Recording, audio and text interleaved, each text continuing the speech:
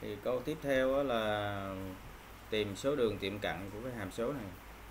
Thì chúng ta lưu ý là để tìm tiệm cận đứng thì mình sẽ lưu ý cái nghiệm của cái mẫu.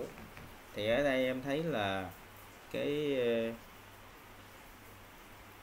cái cái cái x bình phương x phương trừ 2 mà em cho bằng không thì nó sẽ xảy ra là x bằng cộng trừ căn 2 à như vậy thì ở đây nó có hai tiệm cận đứng thôi tức là mình sẽ sẽ tính cái liêm này nè liêm của y khi x tiến tới căn 2 căn 2 cộng đi tức là x nó lớn hơn cái căn 2 mà nó tiến về căn 2 à. thì lúc này nó sẽ bằng liêm của gì à, chỗ này là căn bậc 2 của x bình cộng 1 nè. chia cho x bình cộng trừ 2 ít tiến tới căn 2 căn 2 cộng. Thì chúng ta nhận xét là khi mà ít tiến tới căn 2 cộng, tức là ít nó lớn hơn căn 2 ít lớn hơn 2 thì bình phương lên lớn 2 mà bình phương lên lớn 2 thì trừ trừ 2 nó sẽ dương, cái phần này nó sẽ dương nè. Đó. Còn ở trên đây thì ừ, khi ít tiến tới căn 2 thì bình phương lên là là là 2 mà 2 cộng 1 là 3 vậy là căn 3 là một cái số cụ thể và đặc biệt là khi ít tiến tới căn 2 thì ở dưới đây nó tiến về một số uh, tiến về gần gần số 0 tức là số rất nhỏ. Mình có một số cụ thể mà chia số rất nhỏ thì nó ra là vô cùng. Nhưng mà nhận xét là do ít tiến tới căn 2 cộng ấy, cho nên là chỗ này nó dương nè sẽ trên dương nữa. Cho nên cái giới hạn này mình cộng vô cùng. Vậy thì suy ra là x bằng căn 2 là tiệm cận tiệm cận đứng à, tương tự vậy thì mình tính lim của y khi x tiến tới à, trừ căn 2 trừ. À, thì nó sẽ bằng lim của cái thằng này.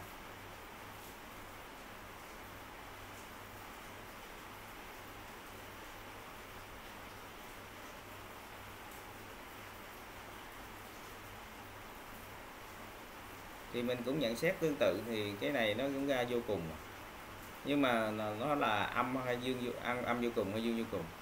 Thì khi x tiến tới trừ căn 2 thì x bình phương lên nó cũng rõ ràng cũng bằng 2 mà 2 đó thì uh, cộng 1 là 3 ở trên đây là căn 3 là số dương. Còn x nó bé hơn bé hơn trừ căn 2 thì bình phương lên nó sẽ lớn 2 và lớn 2 trừ 2 thì dương. Không? cho nên chỗ này là dương vô cùng.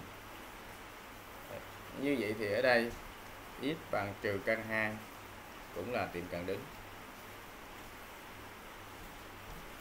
Thế thì bây giờ là mình ờ, cái hàm này thì nó sẽ xác định ờ, khi x tiến tới vô ờ, x tiến tới một số rất lớn cũng xác định ha. tức là x âm dương vậy tức là là nó chỉ tập xác định nó chỉ khác cộng trừ căn hai thôi. Bây giờ mình sẽ tính lim của y. Um, khi khi x tiến tới dương vô cùng. Dương vô cùng. Thì lúc này nó liêm liêm của cái phần này thì ờ, mình ờ, ghi lại đi.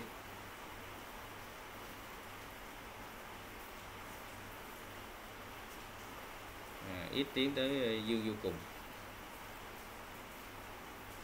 thì ờ, khi ít tiến tới dương vô cùng và ở đây nó có dấu căn thì mình đem ít bình ra khỏi dấu căn thì nó sẽ là ờ, chuyện đối của x nhân căn bậc 2 của 1 cộng 1 phần x bình. Và chia cho gì? X ờ, chỗ này mình đem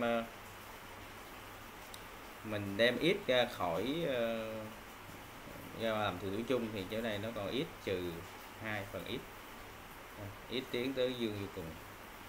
Thế, nhưng mà ít tiến tới vô cùng thì nó là một cái số dương như là chuyện đó ít bằng ít là hai cái thằng này mình đơn giản đi. Đấy. vậy thì cái lim này nó sẽ còn lại là bằng ở trên là là số số số số một còn ở dưới là khi ít tiến tới dương vô cùng thì ở dưới là dương vô cùng. Cho nên là cái giới hạn này bằng không. Rồi tương tự như vậy thì nếu như chỗ này nó có dấu âm vô cùng âm vô cùng thì kết quả nó cũng bằng không. Kết quả nó bằng không như vậy thì suy ra là y bằng không là tiệm cận ngang vậy thì suy ra là đồ thị hàm số. À, lúc này nó sẽ có 3 tiệm cận. Ba tiệm cận. Và ở đây mình sẽ chọn đáp án A.